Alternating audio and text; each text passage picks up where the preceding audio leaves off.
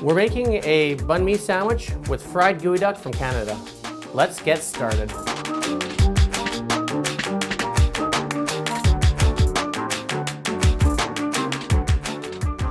So we're gonna have to blanch our geoduck first in order to clean it. By blanching, we just dunk it in boiling water for about 15 seconds, or take a look at it and you'll see the skin on the, on the uh, geoduck start to blister. So we just take our little knife and we cut along the shell and the muscles that are attached to the shell will just cut right off and then we have a gut ball. The gut ball is not very useful because it's where it's where a lot of the toxins in geoduck may be contained if they're there, but everything else is very delicious.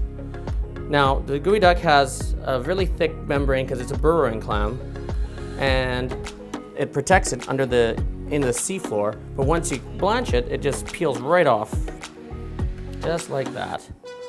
Geoduck does live under two meters of sand in its natural habitat, so can be full of sand. So you have to be very careful to wash all the sand out of the inside of your geoduck. So we are going to be marinating the geoduck in buttermilk overnight so that it gets a bit more tender. Just a little bit of simple basic buttermilk and just give it a nice little mix. We've had this geoduck, the beautiful geoduck that's been marinating overnight. We have to dredge the uh, geoduck in flour. So we're just frying it. Should only take about two to three minutes to fry. We don't want to, we, we want to be careful not to overcook the geoduck because it will get tough.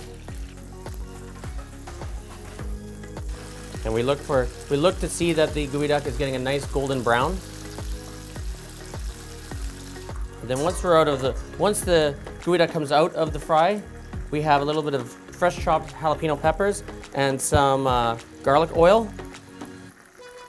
And we just, a little scoop of that, toss them all together. And now we're ready to build a sandwich. Okay, now it's time to assemble these uh, beautiful banh mi's. We have our fried clams. We have some nice crusty toasty bread here. We have a little bit of uh, nuoc mam, which is a little Vietnamese fish sauce. We just put a light drizzle on top, just for a little extra kick. Now we have a banh mi sandwich made from geoduck from Canada.